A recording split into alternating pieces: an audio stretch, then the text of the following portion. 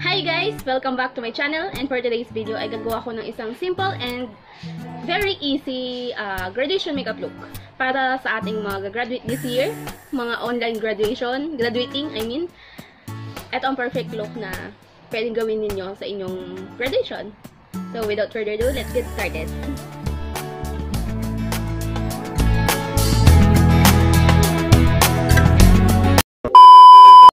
So, syempre, ang gagawin muna natin ngayon ay lilinisin natin ang face natin gamit ang micellar cleansing water.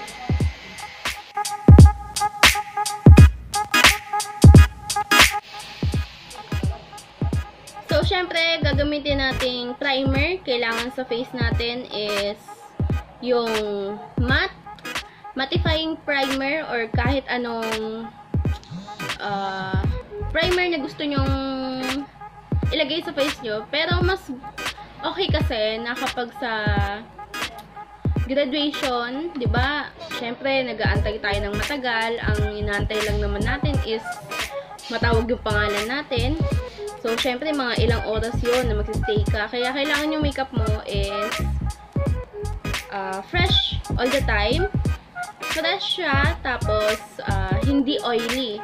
So, kailangan ng mga gagawin, ang mga gagamitin natin palagi is puro matte. Halos matte. Uh, halos matte. Oo, tama. Halos matte ang gagamitin nating product para hindi tayo agad mag-oily during graduation. Okay, so ang gagamitin ko is itong Revlon, uh, Revlon Photo Ready for Reducing Primer.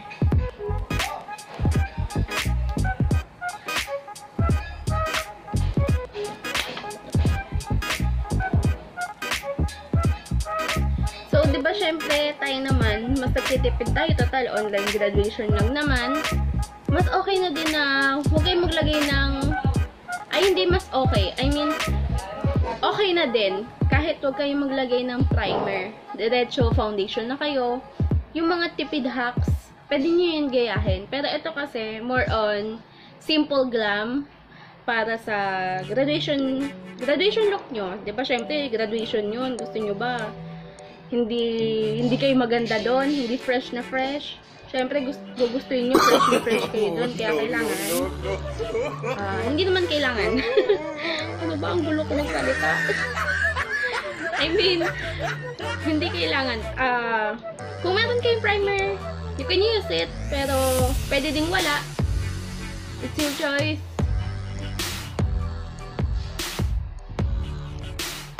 So, after nyan, gagamit tayo ng foundation. Siyempre, yung matte din. Ito yung Fit Me Matte Plus Poreless Fit Me Foundation from Maybelline.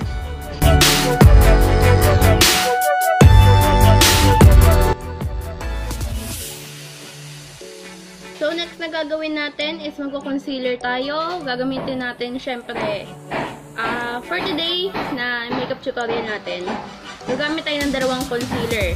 So, unang concealer na gagamitin ko is yung halos uh, kakulay lang siya ng skin ko. At ang gagamitin ko is itong Maybelline Fit Me. Ang shade niya is 25 Medium.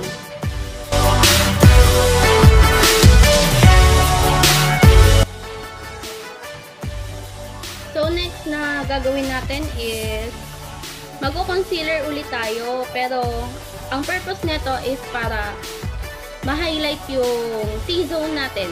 Ito yung T-zone. Yan.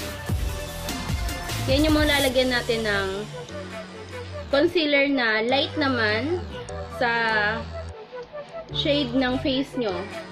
Mas lighter color dun kesa sa ginamit natin kanina. So, kuha lang tayo ng konti. By the way, ito ang Sassy Lady Full Cover Concealer Corrector. Ang shade niya is 02.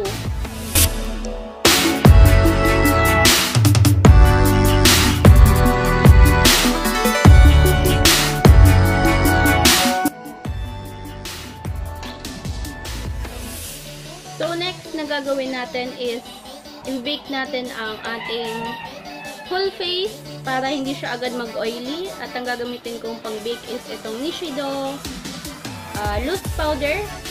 Ang shade niya is Creamy Glow.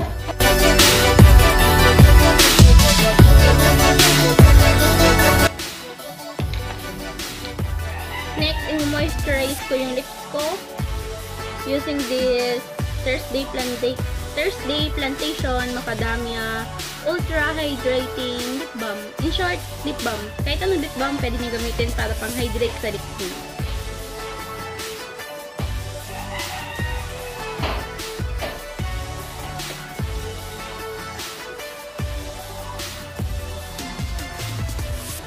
Next na gagawin naman natin is brows.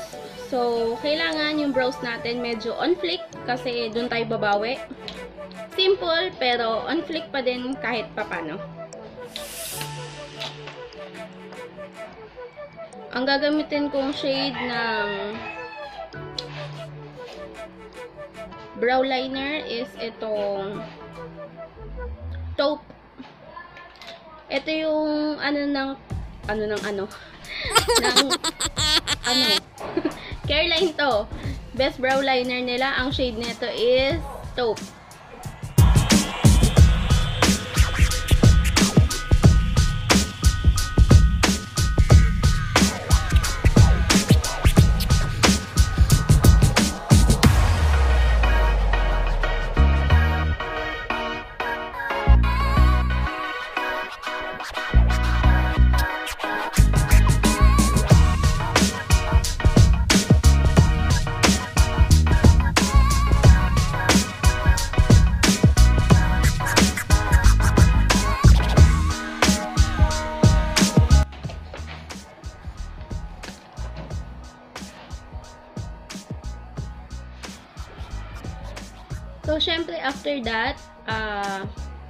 Lagyan natin ng primer ang ating lids or concealer. Pwede na yon Para pang-prime sa eyes natin, na gagawin nating eyeshadow. So, kukuha ko ng tirang eyeshadow, kan ah, tirang concealer kanina. Yun yung ilalagay ko sa lids ko.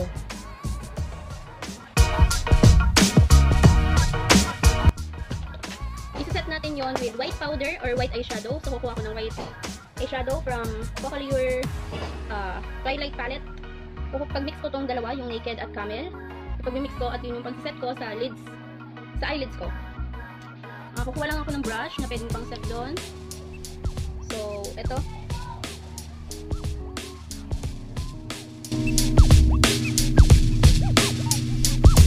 So, kukuha ko ng peach color or medyo orange orange yung shade. So, kukunin ko tong shade na to. Ang shade niya is tangerine.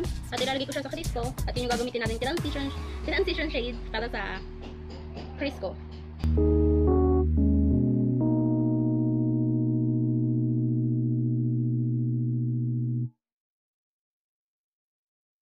What we do here is go back, back. So, this eye makeup pala, guys. Um, medyo may pagka-smoky eye, smoky eye siya kasi maglalagay tayo ng darker color dito sa outer part ng ating mata. So, medyo magmumukha tayong uh, fierce kahit konti. Pero, fresh pa din yung look. So, kukuha ko ng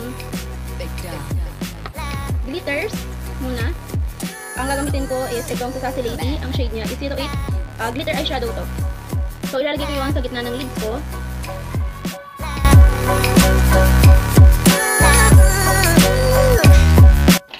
Next niyan ay kukuha tayo ng dark color maliban sa black. So, gagamit tayo ng itong tiramisu. Tiramisu, itong shade na to. More on, para siyang maroon. Tapos, i-mix ko siya dito sa shade ng Magic. Ito yung dark brown color. Kumain ko silang dalawa at yun yung ilalagay natin sa outer crease ng ating mata.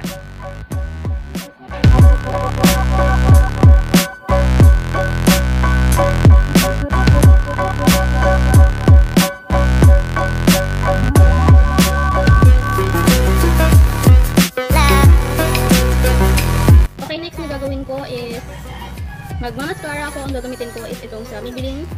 Ang Hyper Curl Mascara nila.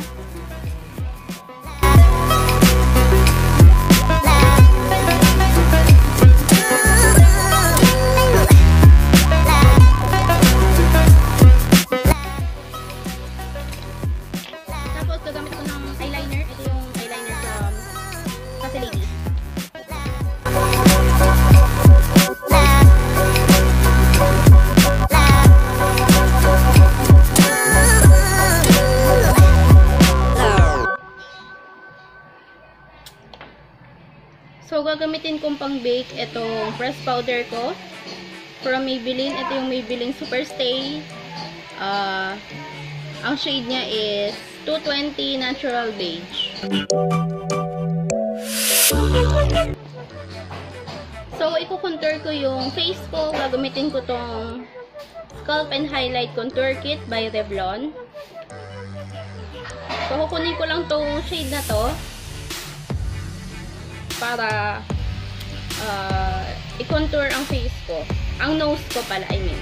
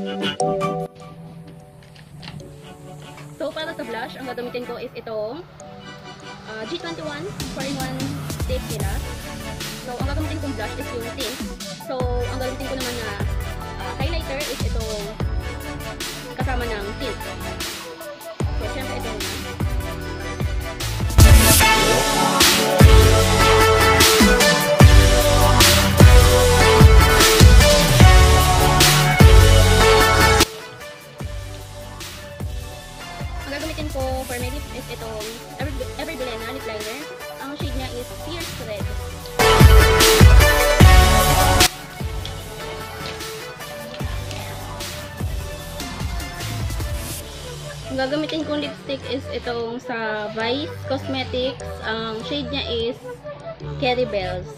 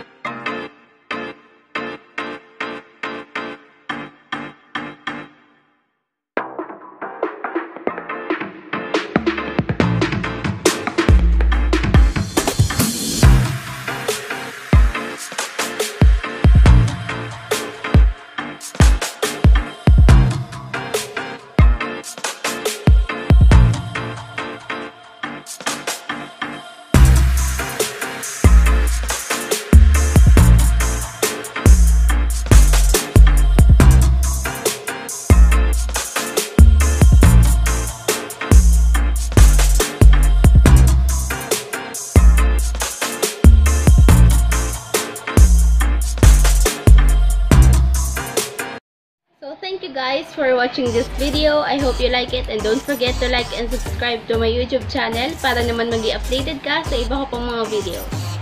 So, sa mga gagraduate this year, so pwede nyo ito maging makeup look.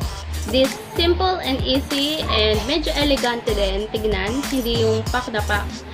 So, by the way guys, hindi tayo naglagay ng false lashes kasi we want to make it simple hindi yung bonggang-bongga. Kasi pag naglagay ako ng lashes, feeling ko magmumukha na siyang pang party agad. Pang grad ball, mga ganon. Pwede na siguro yon Lagyan nyo lang ng lashes. This look pa din, pero uh, lagyan nyo siya ng lash lashes, ng eyelashes para maging bongga yung effect niya. So, if you guys like it, don't forget to like and subscribe. Bye!